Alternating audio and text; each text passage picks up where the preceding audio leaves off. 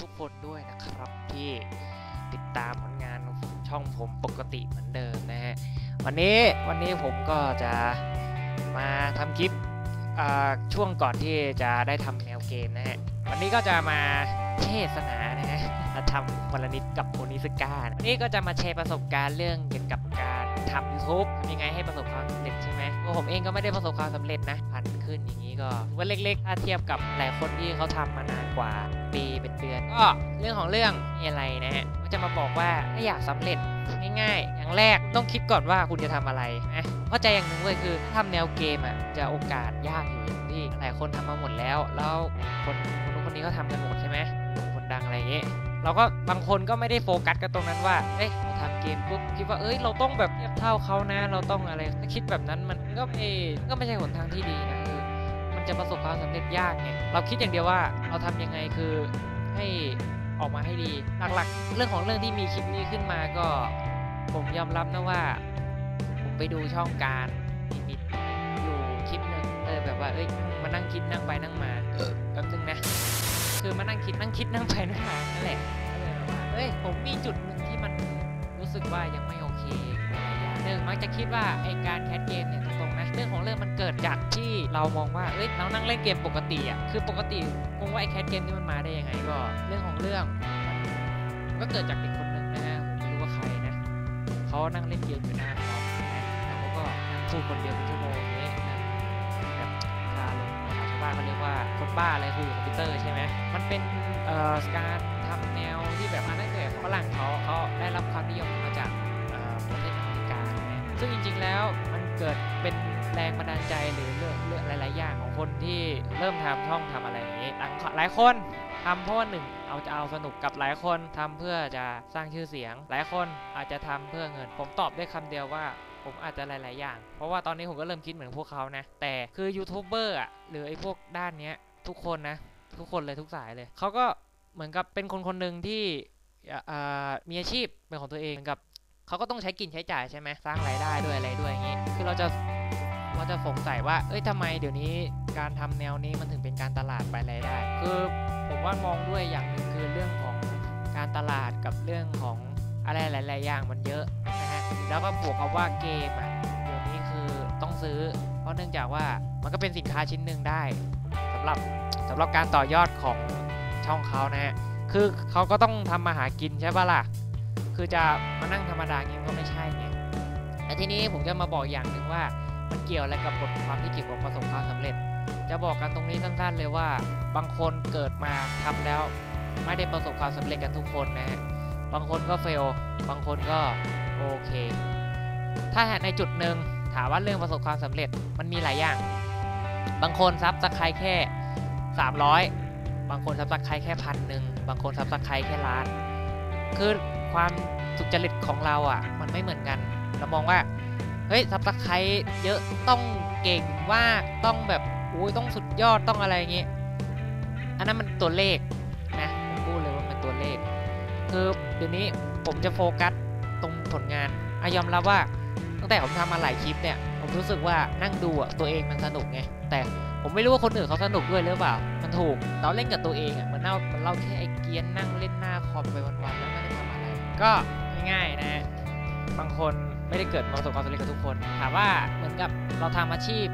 เอาใกล้ตัวแล้วกัน สมมุติเราขายก๋วยเตี๋ยวนะฮะสมมุติมีร้านก๋วยเตี๋ยวอยู่ 3 ร้าน มี 3 4 ร้านอยู่ใกล้ๆกันคิดซะว่าทำตรงนี้เหมือนขายก๋วยเตี๋ยว ร้านที่ 1เขาโปรโมทเขาทำอะไรอะเขาดังอยู่แล้ว สมมติหน้าเขาดังอยู่แล้วเขาก็เป็นชื่อเสียงของเขาแล้วก็อาหารอร่อยถูกปากการแคสเกมอะอะไรที่ผมบอกมา มันก็เหมือนการทำอาหาร สมมุติถ้าเราทำอาหารไม่อร่อยคน ชิมไปก็ไม่ชอบก็ไม่ก็ไม่กินอีกใช่ไหมคนก็ไม่มากินอีก เหมือนกัน พูดยากนะ แต่ผมมองแค่นี้ดีกว่า มันเหมือนการทำอาหารจริงๆอะแหละ แล้วต่อมาร้านที่สองเอเราเอาภาพลักษณ์ แต่ว่าผลงานเราไม่ได้ดีตามภาพลักษณ์ที่เราบอกเลย แต่แค่ว่าแบบ พูดไงดีวะไปวันๆอะไรเงี้ย เราบอกเขาไปว่า เอ้ย เราดีผลงานดีอะไร มันไม่ใช่ คือเขาเห็นร้านเราอะ แต่เขาไม่รู้ว่าข้างในอะมันจะดีตามที่ร้านบอกหรือเปล่า คนก็เลยไม่ค่อยอยากกิน เออ เห็นร้านปุ๊บ เออร้านนี้ โอเค เข้าไปกินเฉยๆอร่อยแต่ก็บอกเขาว่า เออช่างมัน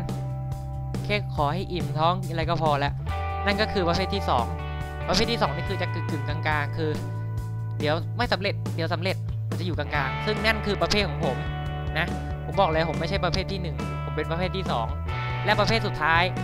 คนที่ภาพลักษณ์ไม่ดีเลย ผลงานก็แย่แต่ทำช่อง อันนี้อันนี้มันอยู่ที่ตัวเขานะ เพราะว่าไอ้เรื่องเนี้ยบอกไม่ได้ แต่ประเภทนี้จะเหนื่อยหน่อยอะยอมรับเหนื่อยมาก โอเค ผมอาจจะพูดงง เพราะว่าผมเป็นคนที่ตื่นเต้นกับบทสคริปต์นี้มาก เพราะว่ามันเกี่ยวข้องกับตัวเองโอเคขอพูดทิ้งท้ายนิดหนึ่งก่อนเรื่องที่ว่า เอ๊ะทำตรงนี้แล้วทำไมมันไม่อยากวะคนเรามีโอกาสทำได้หมดนะขึ้นชื่อว่าคนเราไม่ชอบให้ใครมาพูดเ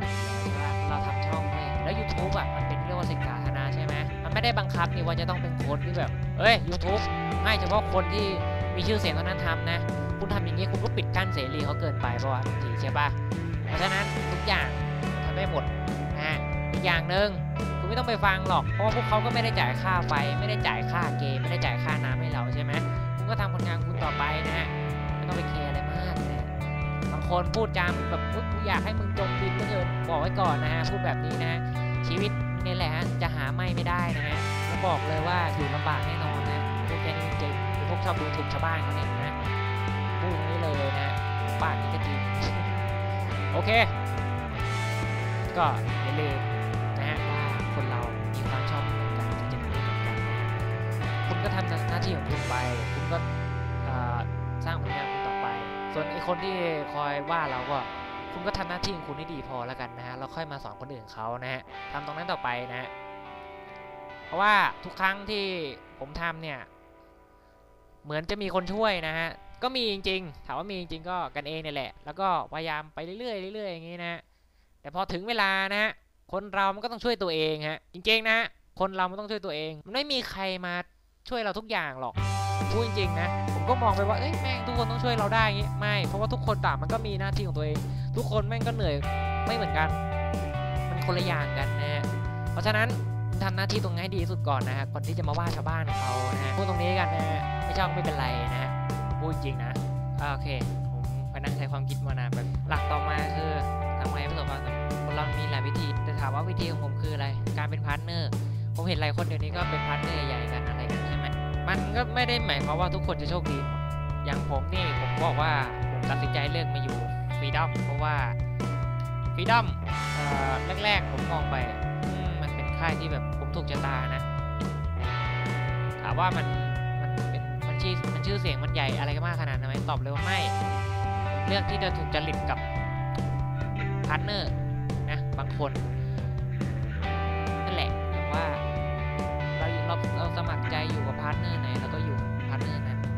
แล้วแต่คนนะอันนี้คือผมจะไม่ไม่บังคับใครนะ ต่อมา บางคนเขาที่มีชื่อเสียงใหญ่ๆอยู่แล้วอะ่ะหนึ่งคือเขาเกิดก่อนอะไรก่อน มันก็เหมือนกับ มันก็เหมือนกับทุกวงการ ก็อย่างที่ผมบอกไปแล้วไง ใครมาก่อนก็เกิดก่อน ใครมาหลังก็เกิดหลังแต่ไม่ได้หมายความว่าเกิดหลังแล้วจะไม่ดัง หรือพูดอะไรวะนี่ไม่เข้าใจผิดที่บอกไม่ดังก็คือ มันแล้วแต่บางคน เออเครียดนี่คือมันเป็นอะไรที่ยากมากเลยนะการพูดเรื่องนี้ยจริงๆเพราะว่าผมก็ไม่ได้มีประสบการณ์ตรงนี้มากอะแต่จะต้องทำความรู้ไปเรื่อยๆอะไรอย่างนี้นะโอเคเขาจะมีแถบโฆษณาสีเหลืองใช่ไหมทุกๆทุกครั้งที่คุณดู YouTube อะไรอย่างนี้ใช่ไหมถามว่าเอ้ยทุกครั้งที่เราดูอะไรเงี้ยมีจะมีช่วงหนึ่งเวลานั่งดูอยู่ปุ๊บข้ามกดข้ามกดข้ามกดข้าม นั่นคือช่องสร้างรายได้ของเขาเจ้าคือทุกช่อง YouTube จะเป็นหมด มันจะมีไอ้เส้นเหลืองๆอะที่มันเป็นแบบสี่อันสี่อันหรือสามอันแล้วแต่เขาอะเราจะต้องกดข้ามตลอด แบบว่าเราต้องเรานั่งดูของเราสนุกเนี้ยแต่ว่าอยู่แม่งตัดมาโฆษณาเราต้องกดข้ามกดข้าม หรือไม่เราก็ต้องหาโปรแกรมตัวที่มันบล็อกในโคมใช่ไหมแบบกันแบบไม่ให้โฆษณามันมาขวางหรือว่าเรานั่งดูเงี้ย โอเค มันอาจจะเป็นวิธีหนึ่งที่ดีสำหรับคุณเวลาคุณนั่งดูอะไรอย่างงี้ใช่ไหมแต่มันจะเป็นวิธีที่ไม่ถูกต้องสำหรับคนที่เขาทางช่อง มันเหมือนกับนั่นคือช่องเงินของเขา คือถ้าเราไม่กดเส้นเหลืองในการตัดรายได้ของเขาทางนั้นมาโดยตรง แต่ผมบอกเลยว่ามันก็มีทั้งคนชังแล้วคนคนไม่ชังนะฮะ คนที่กด อาจจะไม่คิดอะไรเออกดไปขอให้ได้ดูต่อ ส่วนคนที่เอ่อไม่กดก็อาจจะเป็นวิธีทางหนึ่งสำหรับคนที่แบบว่าเออหมั่นไส้ใครสักคนในช่อง YouTube เนี่ยก็ไม่กดแม่งเลย ผมก็ไม่ว่าอะไรเพราะหนึ่งนั่นก็คือมันเป็นเรื่องของคุณนะฮะ แต่ว่า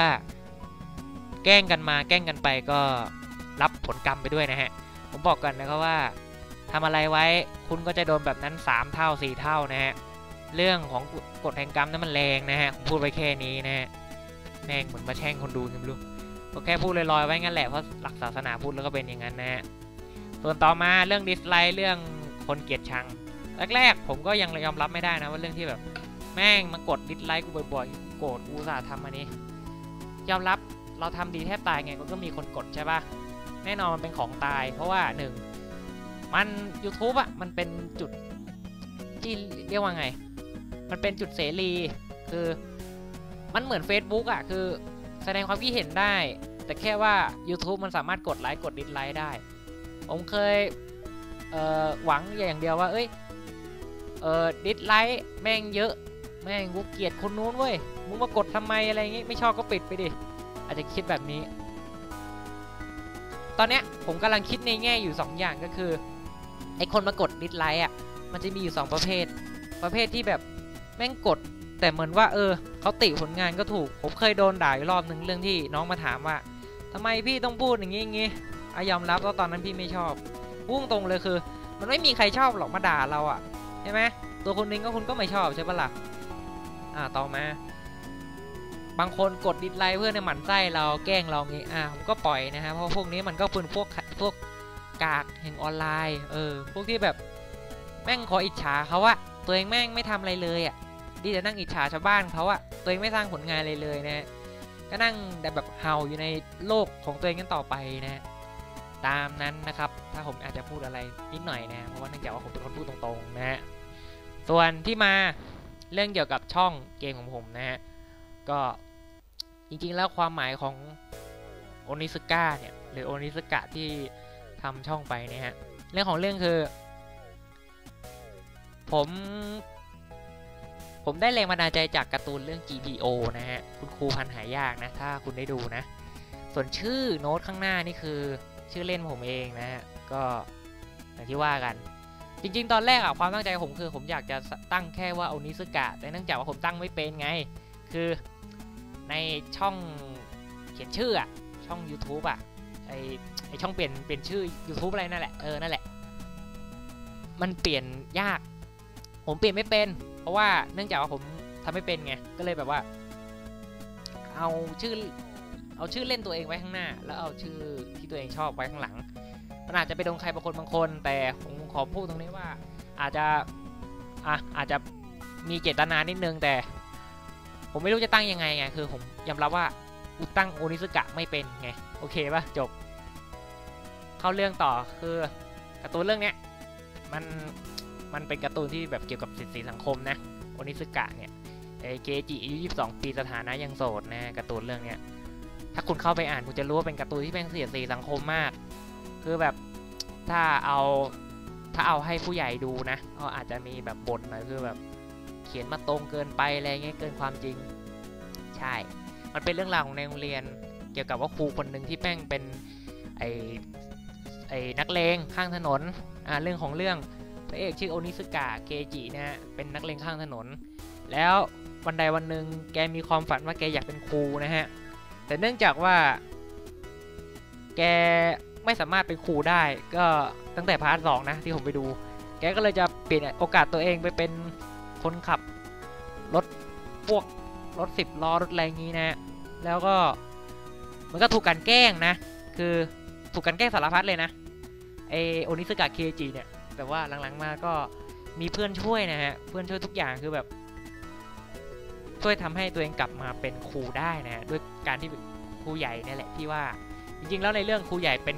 ปลอมตัวเป็นครูในร้านขายของเนี่ยแหละฮะหรือร้านอะไรเนี่ยแหละผมจำไม่ได้นะ แต่จำได้อยู่นิดหน่อย เพราะว่าผมก็ดูผ่านๆมานะ แกก็ให้เป็นช่วยเหลือทุกอย่างให้โอนิซึกะกลายเป็นครูนะฮะ พูดจนน่ารำคาญเลยกินกูโอเคสำหรับเรื่องความสำเร็จผมบอก part นี้ไว้ก่อนนะฮะกับเรื่องของที่มาของชื่อช่องผมเองนะฮะก็อยากจะให้เอาไปลองปรับใช้กับตัวเองดูนะฮะว่าทำยังไงให้มันเติบโตขึ้นไปเรื่อยๆ หลายคนบอกอะโดนนู่นนี่สารพัดเลย บางทีอะผมก็เป็นคนหนึ่งที่ชอบแคร์ความรู้สึกคนรอบข้างนะ แต่ในเมื่อบางอย่าง เราแคร์ฝ่ายเดียว แต่เขาก็เหมือนกับว่าเออกูแคร์นะโอเคไม่เป็นไรจริงเขาไม่ได้มาพิศวาสกับเราเท่าไหร่นะเพราะว่าเท่าที่ผมสังเกตมา ผมก็พยายามนะ ผมรู้มาจากใครบางคนนิสัยบางคนนะฮะพยายามแล้วนะฮะแต่เขาเหมือนจะไม่พยายามนะฮะแล้วก็ คือผมผมก็เหนื่อยอะคือ ผมเหนื่อยมากจริงๆอะกับคนบางคนนะก็ไม่อยากจะพูดอะไรมากนะฮะเด็กบางคนนะฮะมันก็แบบยังไง ก็พยายามแบบทิฏฐิตัวเองแม่งก็มีนะฮะไม่ใช่ว่าแม่งไม่มี ผมก็เบื่อแล้วไม่อยากอะไรนะฮะก็เรื่องของมึงแล้วแล้วกันนะฮะตอนนี้ก็ทางใครทางมันนะฮะความฝันใครทางใครทางมันนะฮะในเมื่อผมพยายามจะทำอะไรแต่ละอย่างหนึ่งมันกลายเป็นว่าเราทำมากลายเป็นที่น่ารำคาญของเขา ก็เรื่องของคุณแล้วละกันนะครับนะไม่ได้พูดนี่ว่าอวดดีหรือไม่ก็ตัวเองแม่งเป็นอย่างงู้นงี้ คือผมเห็นสภาพแล้วคือผมทนไม่ไหวแล้วไงเข้าใจปะผมเป็นคนที่เป็นคนที่มีขีดจำกัดของความอดทนน่ะ เยอะกับน้อยพอสมควร ผมจริงๆเมื่อก่อนผมจะบอกว่าผมเป็นคนที่ใจร้อนมาก ผมไม่ชอบด้วยนะใจร้อนโคตรๆแต่ในเมื่อ ผมพยายามใจเย็นทุกทุกครั้ง ทุกครั้งลงลงๆตลอดนะฮะบางทีคนเราก็มีขีดจำขีดความจำกัดของความอดทนกับความอะไรก็พอกันนะฮะก็ เมื่อคุณไม่รับความเห็นใจความเห็นดีของผมหรืออะไรก็ตามนะฮะ คุณก็ไปหาความรู้สึกของคุณคือความรู้สึกของคุณนั้นกลับไปเถอะนะ เพราะว่าทุกครั้งนี้เขาก็เขาก็สร้างรอยแผลในใจผมมาเยอะพอสมควรนะฮะ ผมบอกเลยนะว่าเกลียดมากๆ คนที่ทำให้ผมเป็นคนที่มีแผลในแผลในใจเนี่ย ผมเกลียดจริงๆนะคนประเภทเนี้ยเกลียดมาก โอเค ตามนี้นะฮะก็ ไม่มีอะไรแล้วนะฮะอาจจะมีช่วงที่ผมตัดคลิปไปเยอะพอสมควรแล้วก็อะไรเงี้ยเพราะว่ามันกระชับให้มันนี่ขึ้นไม่ได้มาดราม่านะแค่พูดเฉยๆนะฮะโอเค เดี๋ยวถ้ามีอะไรก็จะมาบอกทีนึงนะฮะแต่ช่วงนี้ก็อยากจะทำพวกแนวพูดอะไรนิดหน่อยนะฮะก็เบื่อเกมเลยประมาณนี้นะ โอเค ตามเคยนะอย่าลืมไปกด subscribe ที่ทวิชด้วยนะฮะเพราะเดี๋ยวเอกหน่อยคงจะไปเล่นทวิช เพราะนี่ก็ลิขสิทธิ์ก็เยอะนะฮะ โอเค ขอให้ทุกคนที่ทำช่อง YouTube ประสบความสำเร็จกับทุกคนนะฮะ ไม่ว่าจะซับแค่ 20 500พันหนึ่งนะฮะ ตามนี้นะฮะ พยายามครับทำไปเรื่อยๆ อย่างที่ผมบอก เหมือนร้านก๋วยเตี๋ยว3ร้านนี่แหละ คุณจะเป็นร้านไหนคุณก็เรื่องของคุณ ร้านแรกเป็นร้านที่เขาดังแล้ว ร้านที่ 2 ไม่ดังแต่ทำชอบไปเรื่อยคือคนเรามันมีหนทางหลาย ๆ อย่างอะ ดิ้นรนตัวเองไปวันๆอะไรเงี้ยมันมีหลายหนทางนะฮะและอย่างที่ 3 ก็อย่างที่ 3 นี่น่าจะเหนื่อยหน่อยอย่างที่ผมบอก ก็พยายามให้เป็นอย่างที่ 2 แล้วค่อยเป็นอย่างที่1นะฮะไปเรื่อยๆฮะคนเราอย่าไปยอมแพ้นะฮะโอเค ผมไปละบ๊ายบาย